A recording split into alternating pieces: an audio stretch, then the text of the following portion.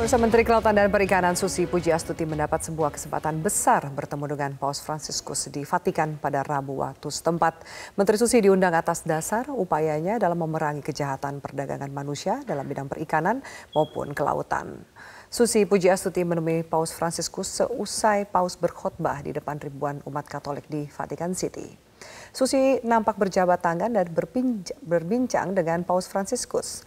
Sebelumnya Susi diketahui mendapat undangan langsung untuk menemui Paus Franciscus dari Archbishop Piero Piopo, Duta Besar Vatikan di Jakarta, setelah acara Bali Ocean Conference yang dilaksanakan Oktober 2018 lalu. Susi mengungkapkan dukungan penuh dari Vatikan untuk memerangi segala bentuk praktik kejahatan yang terjadi di perairan. Setelah Ya luar biasa melihat uh, Pope yang dikagumi menjadi panutan dunia dan saya berharap uh, Vatikan akan support terus untuk human rights dan juga uh, apa yang kita lakukan di Indonesia. Oh. Ya ucapan terima kasih atas cyclical statement yang beliau kirim di acara Our Ocean Conference hmm. dan saya juga mengundang beliau ke Indonesia.